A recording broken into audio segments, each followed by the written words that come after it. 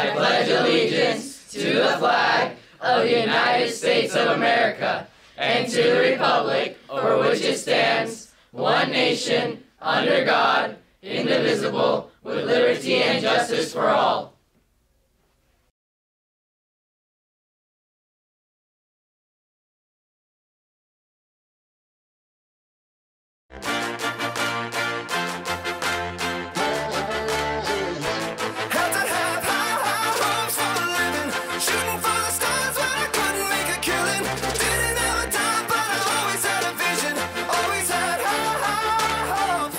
Good morning, Cougars. Welcome to SCTV News for Wednesday, May 25th. I'm Corrado Lococo.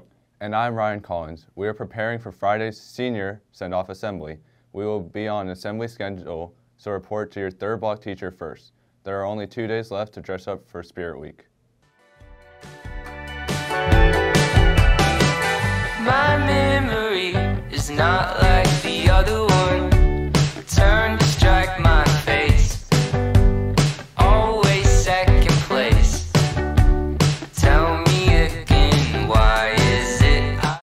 Picture Day is tomorrow. If you're returning to Steel Canyon next year, you are scheduled to take your picture for next year's ID cards.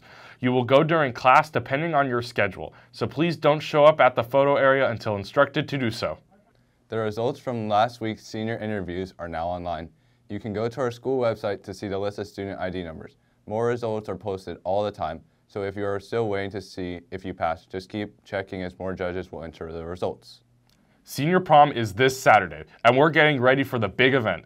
All members of the prom corps are invited to the quad during lunch for games and activities, and all Cougars are invited to the quad to watch and cheer for their favorite court members.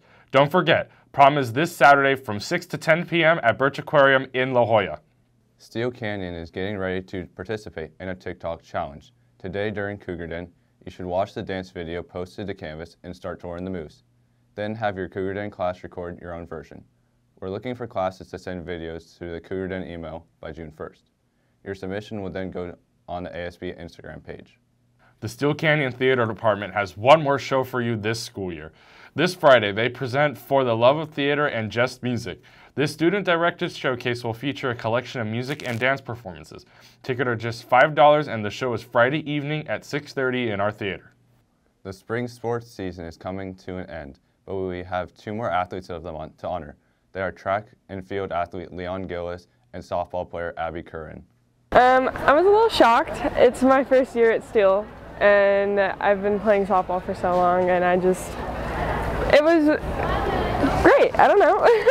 I think I worked really hard. I've been, I just think I was a team player and was able to help out my team when we were in need. That's all the news we have for you today. Have a great week. Rah rah Cougars. Cougar Pride, get some.